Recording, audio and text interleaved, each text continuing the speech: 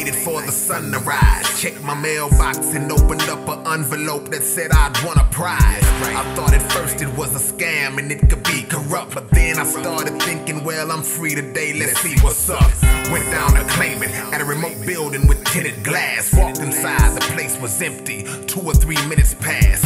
The secretary came, a side door she entered from, led me to an office where a man spoke through an intercom. He said, I'm glad I got you here. This won't take long, believe me. Intelligent as you are, I didn't think it would be this easy. Now, what I'm offering will place the world at your disposal. Your life will be much greater if you accept this proposal. Rulers of the dark side trying to meet with me. Offering a false dream, thinking they'll get me.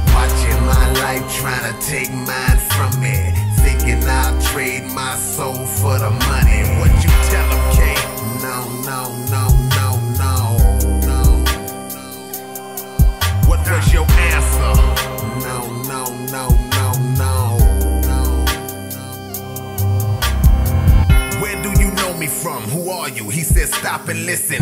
Listen to what? Cause I'm not interested in propositions. The things you talk about in your music enlightens minds. We know what you stand for. We've been watching you for quite some time. Join us while you have the chance. Cause what you represent goes against our master plans. I said, You asking me to poison minds, don't even bother. He said, You might reconsider once you see what I can offer.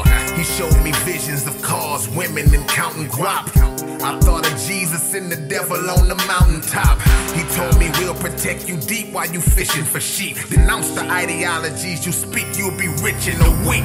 Rulers of the dark side trying to meet with me. Offering a false dream, thinking they'll get me. Watching my life trying to take mine from me. Thinking I'll trade my soul for the money. What you tell them, K? No, no, no, no, no, no. What was your answer? No, no, no, no, no, no.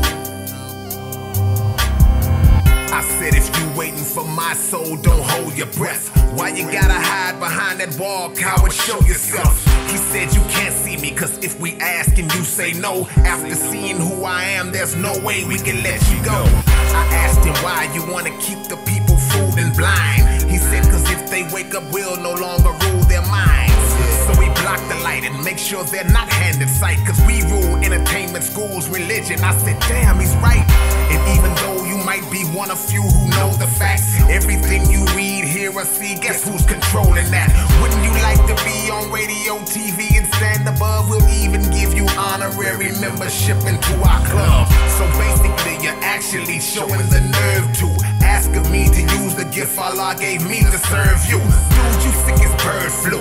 You can put those thoughts to rest, cause me saving my people is bigger than any false success. It's hard to rest in the presence of this evilness. I was shocked when he showed me pictures of people he possessed. I said I'll never bow, so just make K-Rino a martyr. This meeting made me smarter. Now at you, I'm going.